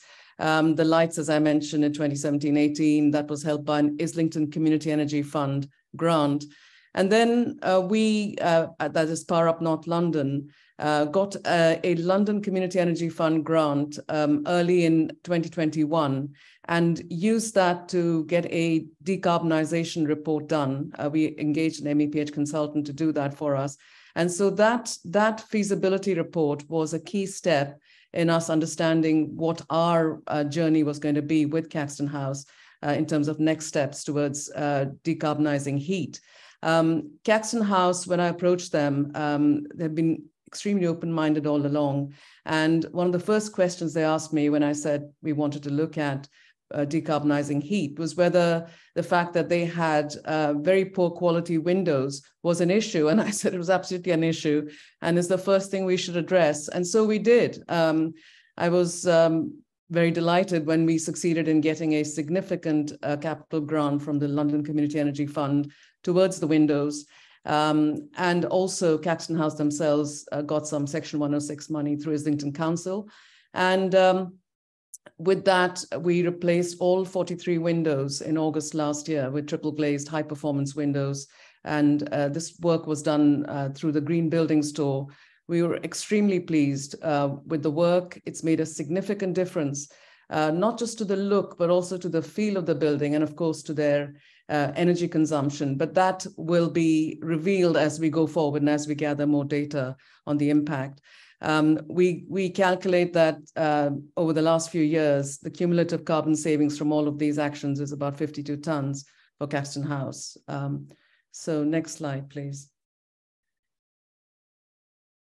So coming back to the, the role of Power Up North London as a community energy group, and I was working on this slide early this morning and realized, my goodness, it's been nearly two years. It will be two years by the time we complete this project. And there have been many, many phases. Um, you know, a big part of the uh, the time uh, required to do this is when you when you engage a technical consultant and they do a report for you, you really need to analyze the information that you've been given in some detail. And we were helped very much by uh, some of the people that we worked with uh, in other community energy groups. Uh, I need to mention uh, Toby at Crew Energy in particular, because without Toby's support, I don't think I'd have had the courage to embark on this journey in the first place. And um, you saw earlier in Dave's presentation that Crew Energy have delivered a, an air source heat pump at a community center in Battersea. And that was our, our sort of example project that we were um, working with when we when we proceeded with Caxton House. So just very quickly, because some of you might be quite interested in how we funded this work and some of the stages. So starting from the bottom left, the the the sort of start of all this was the feasibility grant that I mentioned. Uh, we got that through the London Community Energy Fund Phase Four. And we, at the same time, also got the £50,000 towards the windows. Um, next step was um, we uh, we got the windows replaced, we got the feasibility report, and we also actually um, engaged a, an interesting organization called Energy Systems Catapult to work with us to develop some uh, business and financial models around the Caxton House project.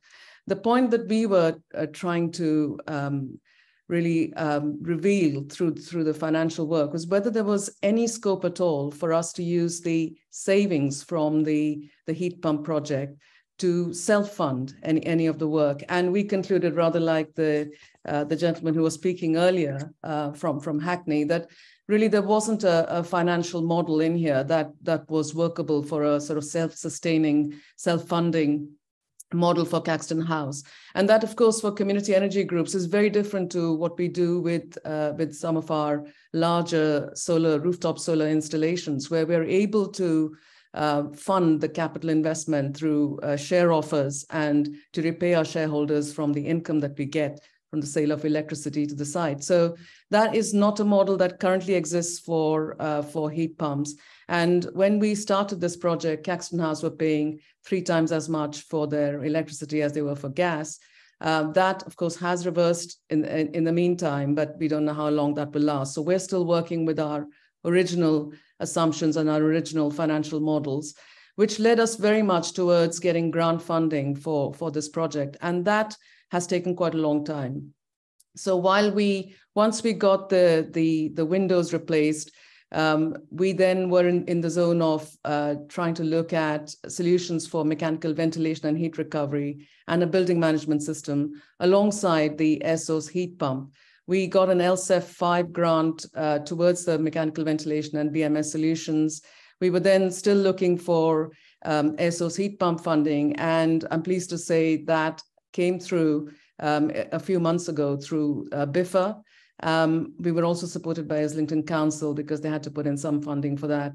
Um, and we are now in, in Q4 2022 finalizing the mechanical ventilation quotes, finalizing the, um, the design for the uh, MVHR intervention, uh, finalizing the air source heat pump design and price. And we are hoping to install in quarter one next year. So it's been, it's been a long old journey. Um, next slide, please.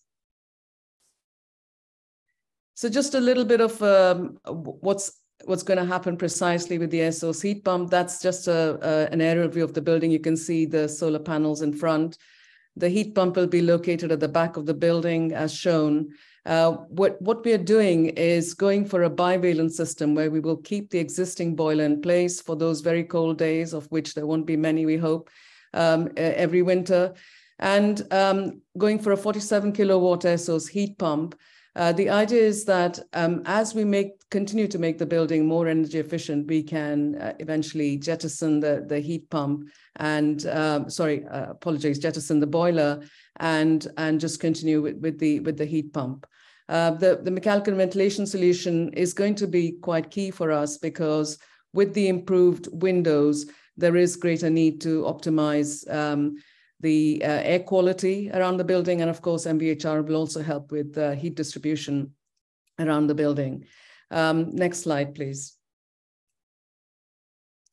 So we calculate that the, the combination of the uh, MVHR, uh, the source heat pump, and some sort of building management intervention about which I'll speak in a second, will be saving about 23 tons of uh, carbon every year at Caxton House from 2024 uh, I say that's the equivalent of planting a, over a thousand trees every year. So not, not a bad result. Um, just for the building management system, um, we did go back and forth a bit with this um, in terms of when precisely we should put in a BMS system. And um, at, we, in fact, with Toby at Crew, actually visited um, a supplier of these um, of, of, a, of a building management system. But what we concluded was that the air source heat pump itself also comes with some significant BMS capability. And um, we wanted to put in the ASHP, put in the mechanical ventilation, and then see what uh, remained to be done and if there was some additional top-up support that was required with controlling heating around the building. So that's that's sort of on the back burner for the moment until we we install the ASHP and um, and the mechanical ventilation. Um, next slide, please.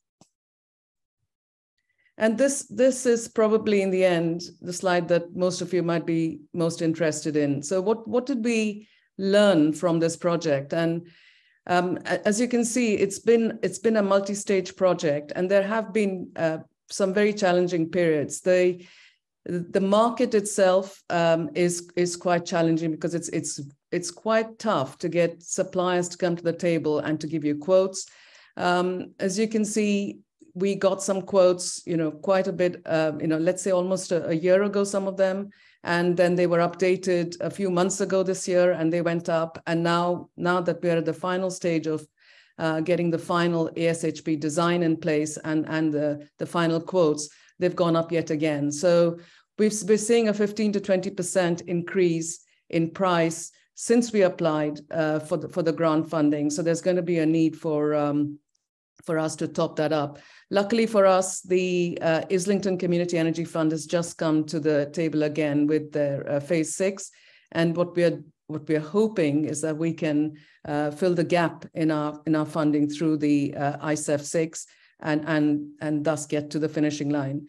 Um, there's a there's a lot of technical aspects here that one needs to be aware of. Um, so again, as somebody said, this is not uh, you know don't go into this lightly.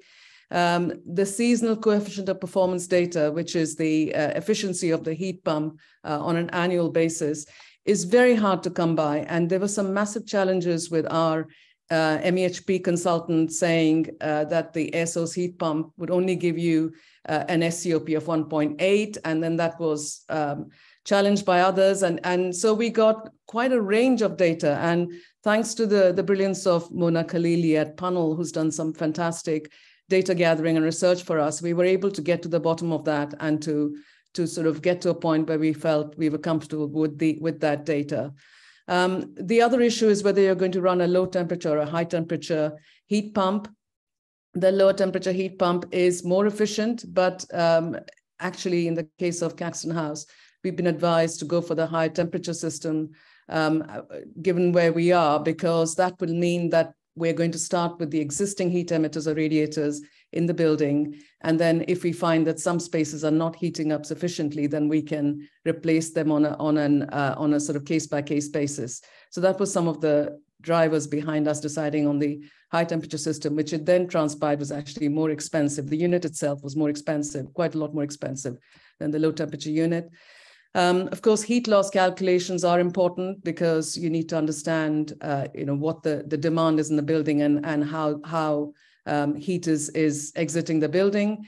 Uh, but bear in mind that um, you know um, this this stuff isn't sacrosanct. There's quite a lot of judgment around the heat loss calculations, and um, that massive sports hall space that I showed you at, at the start of this, uh, we decided to leave that out of our um, out of our calculations of demand for the building uh, in terms of sizing up the source heat pump, simply because it's a it's a massive space to heat.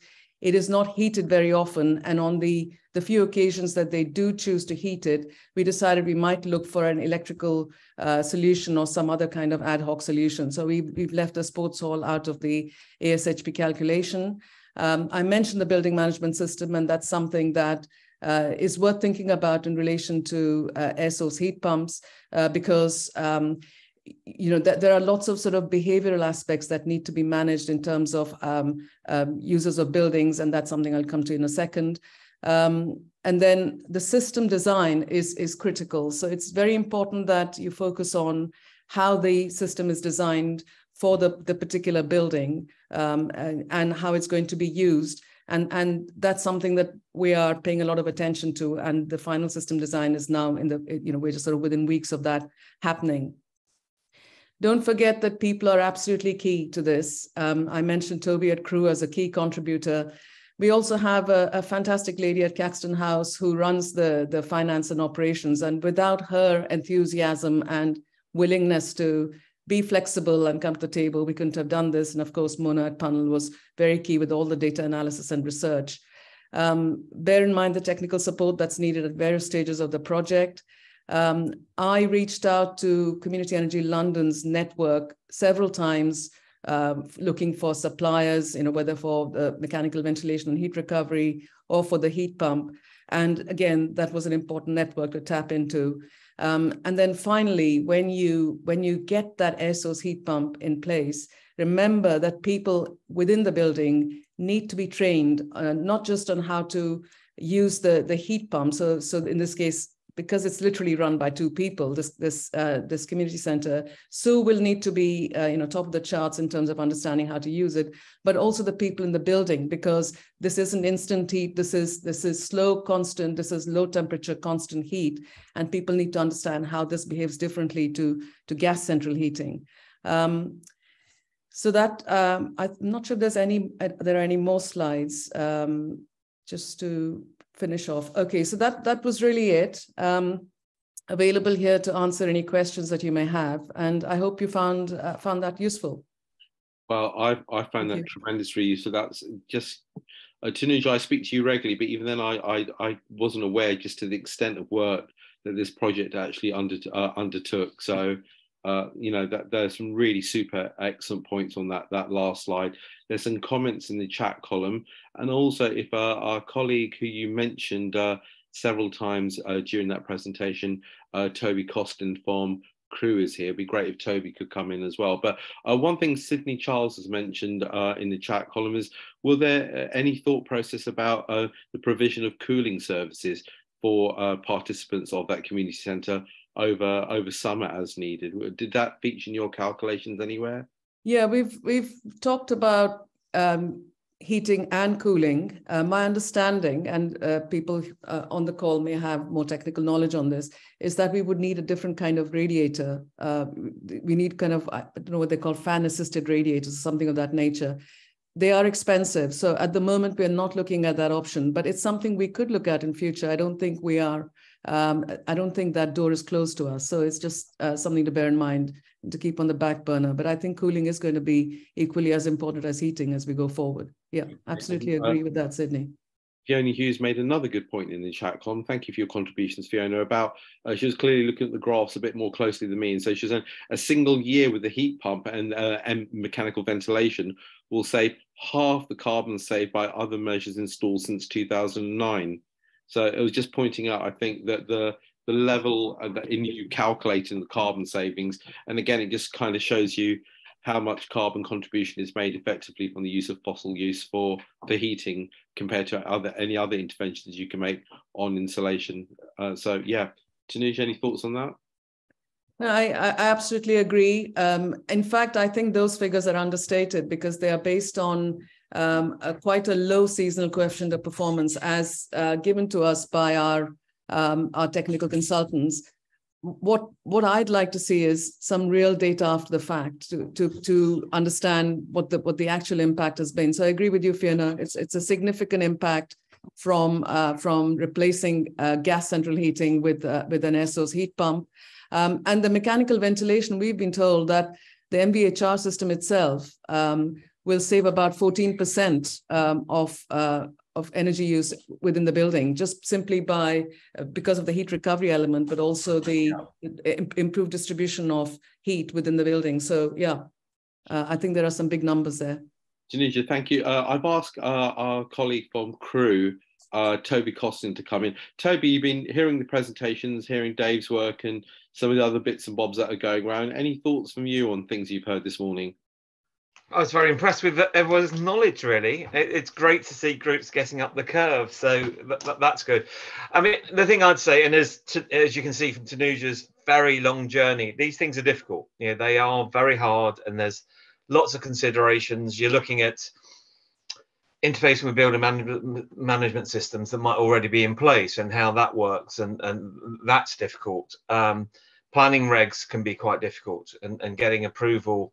Once you go, go over one heat pump, it, it's no longer permitted development, so you need to consider those aspects. Um, that concept of comfort is is is a fairly intangible thing, you know. So achieving comfort is quite quite difficult. And you know, lots of people have been talking about the size of the systems and upgrading radiators uh, in this. So again, that's something that needs needs to be considered. Um,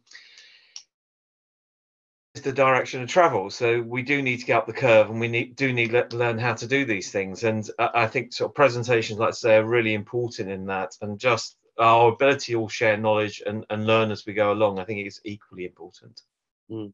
Thanks, Toby. That, that's really helpful. Uh, your uh, reference to planning reminded me of a question earlier on the chat from uh, Wilfried Riemensberger. I'm not sure if Wilfried's still there because, um, forgive me, Wilfried, I didn't ask your question earlier on, but you mentioned about uh, whether or not any of these heat pump projects are within conservation areas in London. It's a very good point because many boroughs in London are, you know, some people, places like Camden, Westminster, they're nearly 75% in kind of conservation areas in terms of their homes. Uh, what we've been trying to do, Wilfred, as part of this uh, uh, this uh, personal research work is look across London for supplementary planning guidance, which specifically mean, uh, mentions heat pumps. And I know some colleagues have had some real challenges. Uh, Toby, are you aware of any SPGs or any, you know, uh, either positive or unfortunately negative planning kind of support for heat pumps? Yeah, we're looking at a project at the moment, the Woodfield Pavilion, uh, which is on Tooting Bec Common, and it, it, it's that exact issue. And my my reading of the guidance is, as long as the heat pump isn't in front of the building in terms of the road, then it's permitted development somebody within Woodfield thinks, well, maybe we should put planning application in, just get that confirmed. So we're, we're kicking that around. But generally, it's a little bit like solar PV, isn't it? If you put it on the back of the house, it's okay. It's on the front of the house, it's not okay. So these heat pumps, it's kind of hard when you've got a pavilion that's basically in the middle of the field to say what's the back, what's the front, and you know what direction people are coming from on a common. But we're looking at uh, putting this you know, basically the, the bit that's squeezed against the side path, and I think that that should be fine. Um, and I'd proceed that way because I think it's pretty tough for Lambeth Council to turn around and say we don't want heat pumps. Mm. So um, so it, it, it's it's a difficult area, but generally that that's the rule. The guidance I've read from Wandsworth and Lambeth so far, and Merton I think I've looked at, is is exactly that. If if it's not nearer the road than the property, then it should be allowed. Okay. Uh, Wilfried, was there something in, in particular in mind, or are you in a particular borough in London where you've seen challenges already in terms of planning? Yeah, uh, I mean, I'm, we, we are looking at the Millbank Conservation Area, which is basically a 17 block uh, red brick, uh, brick um, grade two listed uh, council estate, uh, also with um, over 60 or 65% leaseholders, a lot of them absent. Uh, and in the conservation area, the biggest stakeholders, apart from uh, the um, uh, estate, uh, is Tate Britain mm. and Chelsea College of Arts. And um, we, we, we are trying to look whether there is uh, a possibility to work together um, there, there are some green spaces around it. Uh, there is obviously the River Thames uh, on, on the other side. Um, and uh, there are some complexities also in terms of the uh, museum and uh, the college having their own contracts uh, running. and there are certain time frames in there. So I, I was just wondering whether there is um, any any network uh, similar to ours uh, and and with a project. Yeah. Uh, so this is in the London Borough of Westminster, the city of yep. Westminster. Yeah. And uh, that's just really interesting. So, just Toby, just quickly, and then I know uh, Dave, you had your hand earlier on. Are you aware of any kind of uh, kind of joining together what Kieran was saying, kind of heat networks and and heat pumps projects in London or any other city uh, in the UK that you're aware of at the moment? No, no, sorry. Yeah, Kieran, are you still with us? I think Kieran may have had to leave. So uh, yeah, I mean, I know Kieran, um, uh, Wilfred. There, there's there's very good examples I know in Sweden that Ian has been involved in, where they've taken uh, water source heat pumps connected to area-wide uh, heat pump and heat network projects. I mean, the ADE, funny enough, they're just up Victoria Street. Uh, so maybe I'll I'll have a word with them and see if they can come for a wander. I'm, I am still I am still here. Sorry, I was I was just going to oh. say. Um, I'll yeah, Kieran, go ahead. Um, it's it's something that um, again building on the Danish model, um, other countries have done better than us. They have um, I think they're called municipality heat maps. Um, and it's one of the things that, because we're working on how zoning is going to be implemented. Um, and one of the things that we're looking at is do, you know, we've got this zoning coordinator role for local authorities dealing with heat networks. Um, should they also be required to, you know, do a holistic look at, um, you know, local area heat planning in general? Um, obviously, as I think it's been mentioned, Energy Systems Catapult has got um, has done some work on local area energy plans. In Scotland, they're also working on what, what are called the local heat and energy efficiency strategies, which which cover all these bases. Um, I, I, think it's there's a lot of people who are doing good work in this area, but it's a, a little bit early days in um, finding a solution which is actually going to work, um, and then obviously making sure that it's correctly resourced given pressures on local authorities.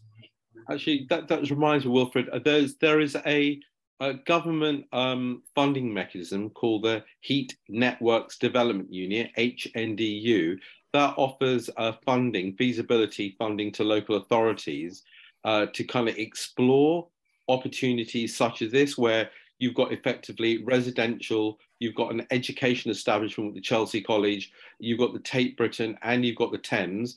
Uh, if you did a loop around that, you could probably ask Westminster to apply to see whether or not they could get some money from government to actually undertake a, a research uh, project for that. And, you know, that would all be paid for by government. So I think it'll be worthwhile having a con uh, conversation with Westminster officers on that. So have a go at that, Wilfred. I'll I'll drop my I'll drop my email um, in the in the chat column shortly, and if you want to email me as well.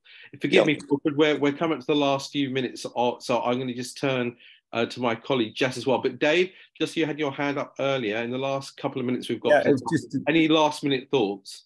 Just to build on the um, the the opacity of what's permitted development and what isn't, it's just mm. not clear. Um, planning portal or the Town and Country Planning Act um, suggests that for non-domestic buildings there is no permitted development, which might not be the um, the impression you get from a local authority planning department or or elsewhere. So planning permission, yes, and much like solar and rural roofs, visual harm in a conservation area is a key question, and you've also then got the sound as well. But that's it.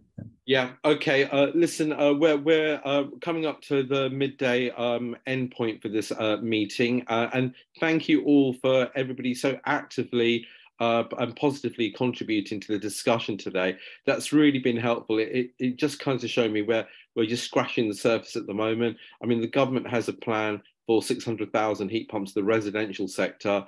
Uh, the boiler upgrades to um, support system uh, statistics show that we're way beyond that at the moment, and we need an awful lot more kind of uh, policies in place to leverage that kind of increase.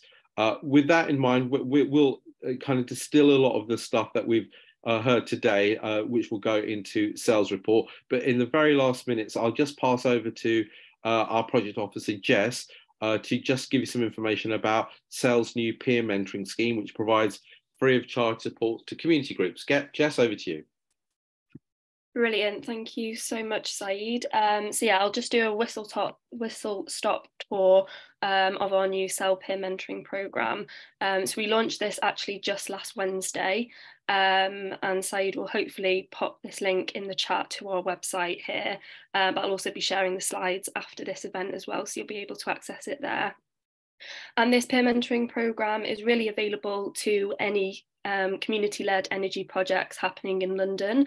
Um, so even if you're an organisation kind of outside of London, but you're looking at doing a project in London, you would be eligible for this. And we have 40 mentoring sessions available over the next three months. We'll be reviewing our applications on a fortnightly basis. So they'll be running over the next three months. Um, we won't kind of be waiting till the end of that period.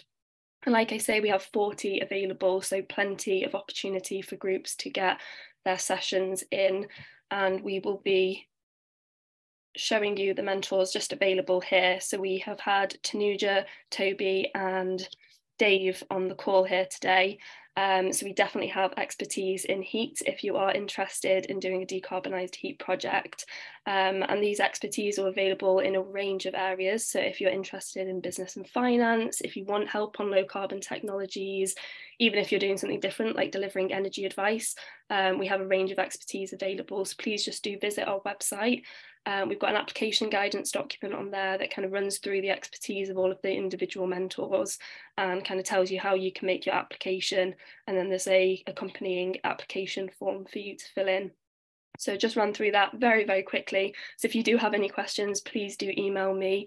Um, my email is officer at communityenergy.london and just to say, this will also be running about concurrently to round six of the London Community Energy Fund that hasn't been released yet, but we do expect it soon, hopefully.